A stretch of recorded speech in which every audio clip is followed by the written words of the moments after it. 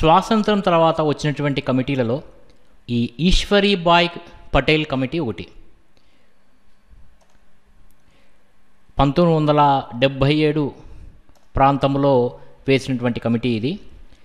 Kothari commission ఐదు సంవత్సరాలకు ఒకసారి విద్యా విధానాన్ని సమీక్షించుకోవాలని ఒక సలహానిచ్చింది.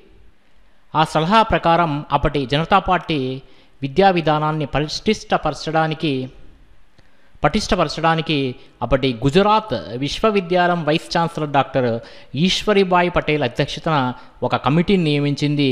దీనినే ఈశ్వరీబాయ్ పటేల్ అని కూడా దీనినే ఈశ్వరీబాయ్ పటేల్ కమిటీ అని అంటారు. ఈ కమిటీ చెప్పినటువంటి ముఖ్యాంశాలు కనుక మనం చూస్తే ఈ కమిటీ ప్రధానంగా పని అనుభవం స్థానంలో ఎస్యుపిడబ్ల్యూ అంటే సోషలీ యూస్ఫుల్ ప్రోడక్టివ్ వర్క్ అంటే సాంఘిక ఉపయోగ ఉత్పాదక కృత్యాలను పాఠశాలలో ప్రవేశపెట్టి శిక్షణ ఇప్పించాలని సూచించింది. దీన్నే మనము సోషలీ యూస్ఫుల్ ప్రోడక్టివ్ వర్క్ అంటాం.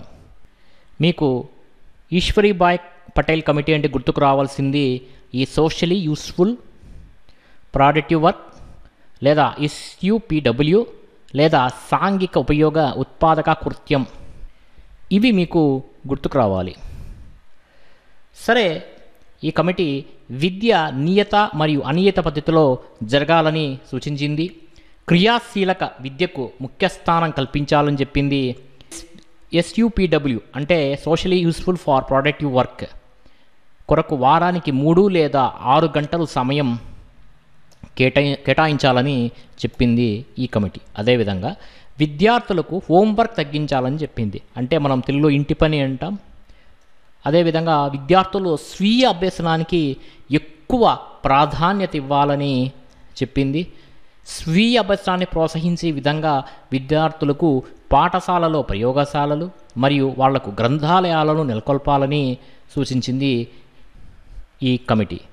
అదేవిధంగా ఉపాధ్యాయులకు మార్గదర్శక సూత్రాలు బోధనా ఉపకరణాలు అందజేయాలని సూచించింది.